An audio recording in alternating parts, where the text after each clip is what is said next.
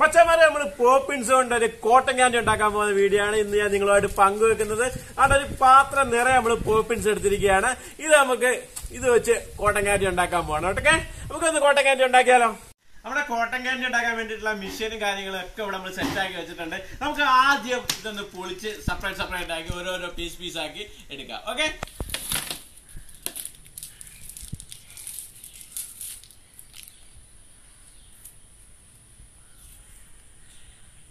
പണ്ട് എപ്പോഴും ആൾക്കാർക്ക് പ്രിയമുള്ളൊരു മിഠായിയാണ് കേട്ടോ. പണ്ടത്തെ ആ ഒരു വിലയൊക്കെ തന്നെയാണ്. വില കൂടാത്ത ഒരു ഉൽപ്പന്നങ്ങളിൽ ഒന്ന് തന്നെയാണ് ഈ ഒരു പോപ്പിൻസ് പറയുന്നത്.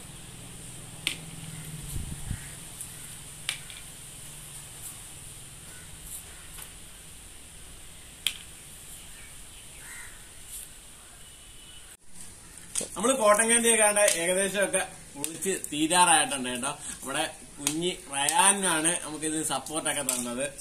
ഓക്കെ ആണ് മൊത്തം നമ്മൾ പൊളിച്ച് ചേർന്നിട്ട് നമ്മൾ ഇനി ഇതിനകത്തോട്ട് ഇട്ടിട്ടാണ് നമ്മൾ ക്യാൻഡി കോട്ടൺ ഉണ്ടാക്കുന്നത്.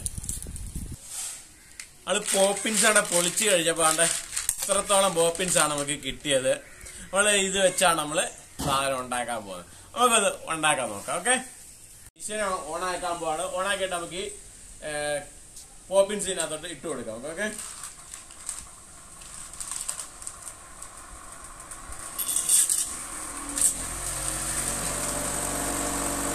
പോപ്പിൻസ് ഇട്ട മാത്രമേ തന്നെ ഉണ്ട്. ഞാനിവിടെ ആയി വരുവാണ് കേട്ടോ. ഈ പൊളിയായിട്ടാകുന്നുണ്ട് കേട്ടോ. ഒരു രക്ഷയില്ല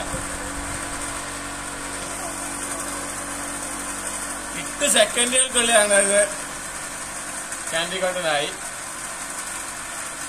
കുറച്ചുകൂടി ഇട്ട് നോക്കാം. കുറച്ച് ക്യാൻഡി കോട്ടനോട് നമ്മൾ ഓപ്പൺ ചെയ്തിട്ട് നോക്കാം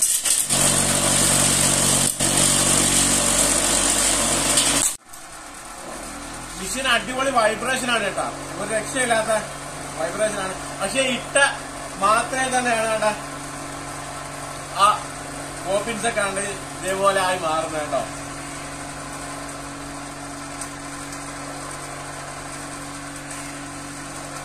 നമ്മളെ കളറുകളൊന്നും ഇതിനകത്ത് അറിയാൻ പോലും ഇല്ലെന്നുള്ളതാണ് കേട്ടോ.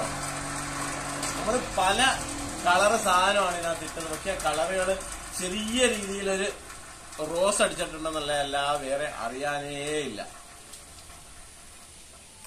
അടിപൊളിയായിട്ട് സൂപ്പറായിട്ട് നമുക്ക് ചെയ്യാൻ പറ്റും.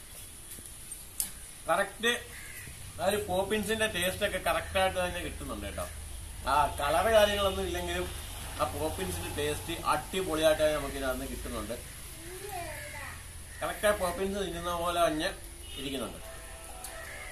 ഇഷ്ടപ്പെട്ടിട്ടുണ്ടെങ്കിൽ നിങ്ങൾ മച്ചമാരെ നല്ലൊരു സപ്പോർട്ട് തരണം കേട്ടോ.